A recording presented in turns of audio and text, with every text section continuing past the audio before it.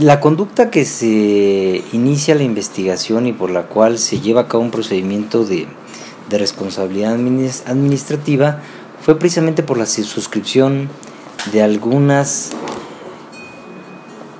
obligaciones que le establecían los contratos.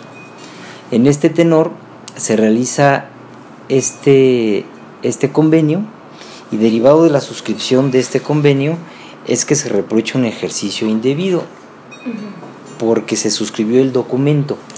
Es como, como planteamos, derivado de la suscripción del documento, puede, vamos a suponer en el ejemplo práctico que lleva ausencia de requisitos o lleva de incumplimientos de convenios a los que ya se habían pactado.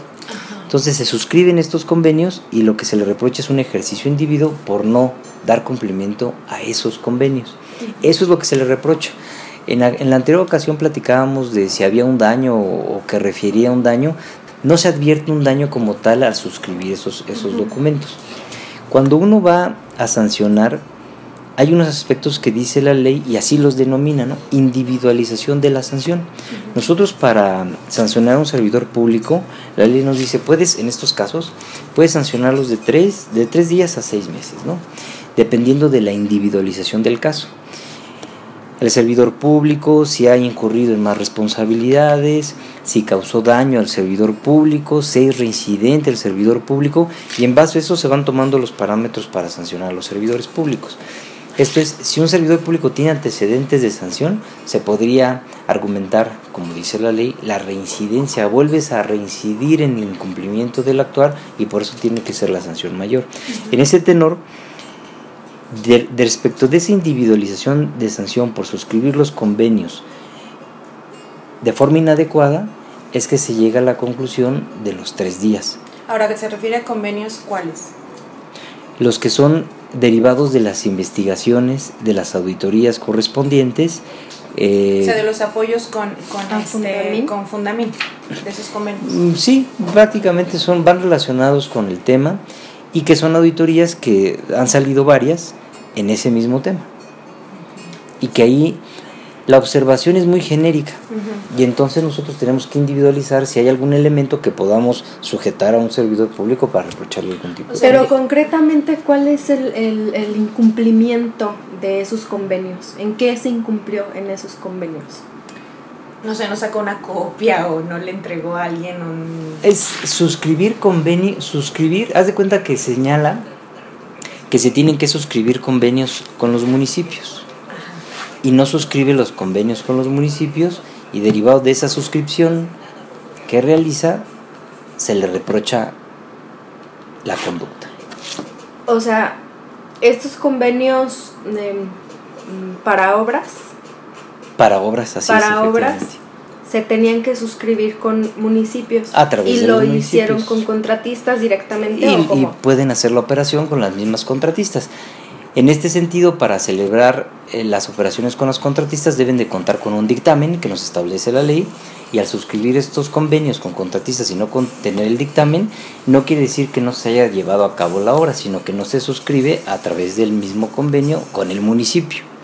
Pero en ese tenor, pues eso es lo que se le reprocha. En lugar de suscribir el, el convenio con el municipio y a su vez el municipio contratar la obra y, desarrollar la obra. proceso de? Así es, por, no, no, no, no, no, el proceso tenía que pasar por proceso no, de licitación. el proceso es diverso. Aquí lo que nada más se le reprocha es no suscribir el convenio con el municipio. Y se suscribe con convenio. Así es. La obra está, la obra existe y por eso cuando se audita no se refiere, oye, no está la obra. Si no estuviera la obra, pues ahí sí habría un daño, que es un menoscabo al patrimonio del Pero Estado. entonces es la falta de este documento que, que eh, pruebe esta suscripción con el municipio. Es la falta de suscripción. O, la falta de procedimiento.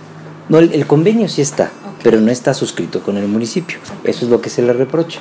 Derivado del recurso que se debe haber suscrito con el, con el municipio, se suscribe el convenio, en este caso con Fundemini, entonces eso es lo que se le reprocha no que haya existido algún desvío de recursos, no que haya existido alguna anomalía. Ya no hay eh, procedimientos pendientes, o había dicho que sí. Tenemos procedimientos, pero esos están abiertos ahorita. Ah, Esos todavía siguen su curso. ¿Pero cuántos eran o simplemente se habla de uno? Hasta ahorita tenemos uno identificado, uno que ya lo estamos reprochando y que tenemos que esperar a que se concluya porque estos procesos pueden o no quedar firmes, esto me refiero a que sean combatidos y el hecho de que no queden firmes pues todavía guardan la reserva que dice la ley de transparencia a efecto hasta que se concluya ese procedimiento. Y entonces en el tema que, que nos trajo acá, este, no hay absolutamente ninguna otra sanción, ningún otro procedimiento específicamente contra eh, Fernando Liberal. No, al día de hoy no. Hay líneas de investigación, se siguen desarrollando. En caso de que se encuentre alguna otra circunstancia, nosotros tendremos que hacer el reproche correspondiente. Pero al día de hoy, como procedimiento de responsabilidad administrativa fincado al secretario de Turismo, no, no es. O sea, los procedimientos que están pendientes, oh, bueno, no existen los, los supuestos, pero eh, si hay otro procedimiento, bueno, en su momento se sabrá si es contra él o contra el ah, exactamente, exactamente. Por eso esa investigación sigue todavía su curso. Independientemente de esta investigación de, de Fundamin, ¿hay alguna otra sí, son donde tres. se haya... Son tres, tres investigaciones.